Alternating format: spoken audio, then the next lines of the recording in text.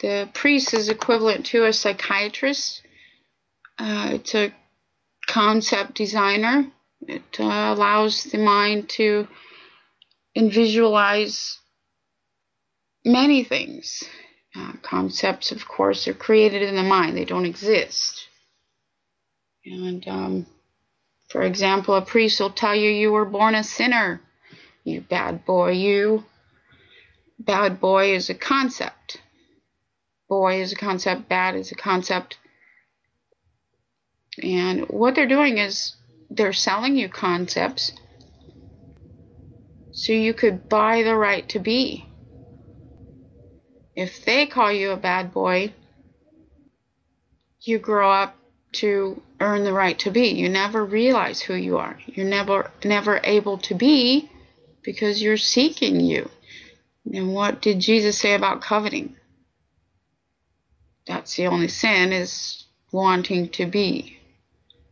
That means you're empty and able to be filled up with various constitutions as the priest tells you what you consist of bad boy, bad girl, bad parent, bad neighbor. These things are concepts sold to you by the law merchant. This is what the Lord God is. It's the other daddy, the thing you're not supposed to be patronizing or calling father. From the reporteronline.com, St. Stan's priest arrested, charged with indecent assault and harassment. And this is on January 17th. A priest at St. Stanislaus Roman Catholic Church was arrested Friday and charged with misdemeanor indecent assault without consent and summary harassment in connection with an incident that occurred on December 15, 2013. That was a quick return.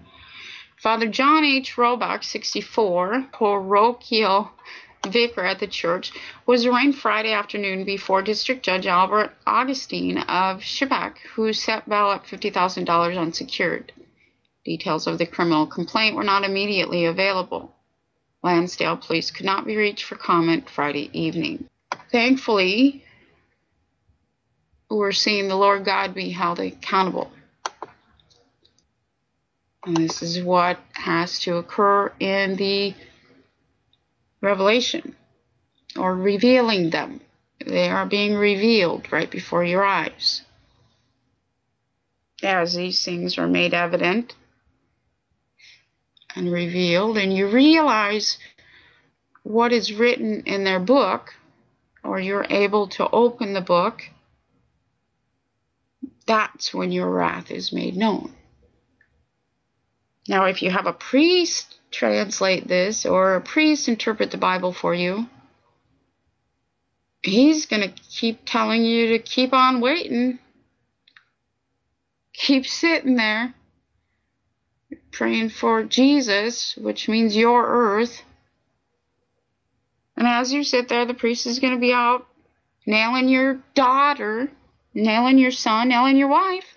We've had incidents of adultery with married females and, and priests. And in one of them, the priest ran right down to the court to restrain the husband when he found out. I mean, that's like something else. He ran right to the court.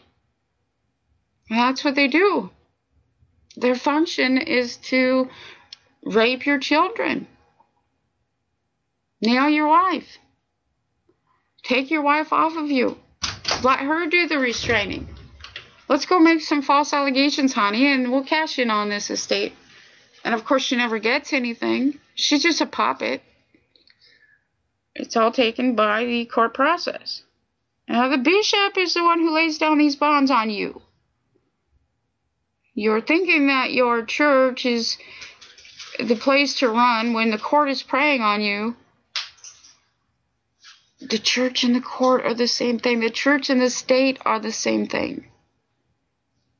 And you put your trust in that thing and call it Father, and it's preying on you from one end to the other. Part of fourth generation warfare is the creation of concepts, calling you that bad boy. It's the same thing that they wrote down in Exodus. That word exo means outside of, and do stems from the word God. Exodus means outside of God. And when a judge comes down from a hill tells everybody that they're killing each other and stealing each other's wives and asses, and then offers to protect you from that, the book is called Outside of God. That means if you want to be outside of God, go ahead and patronize that judge. Don't patronize yourself, God. Don't take responsibility or authority over your earth, God. Don't patronize your own house, God. We got something else to show. We got something else to sell you. Adam, we're going to call you man now. Adam, the, the word Adam, the etymology means man, literally. So I, the judge, I'm, I'm going to start calling you man. And you're going to buy this concept. You're going to say, yep, I'm a man, I'm a woman, and the Lord God created me. It says right there in abiogenesis. Genesis is short for the doctrine of abiogenesis. A meaning away from. Bio meaning life. Gen meaning mind and soul. And Esses, of course, means the action of. Genesis means away from life, mind, and soul. So you, God, were fed concepts and moved away from you, God, outside of God.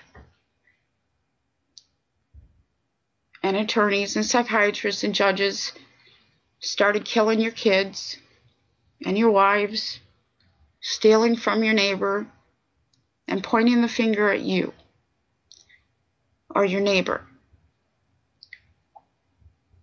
and they started teaching you that you and your neighbor is bad.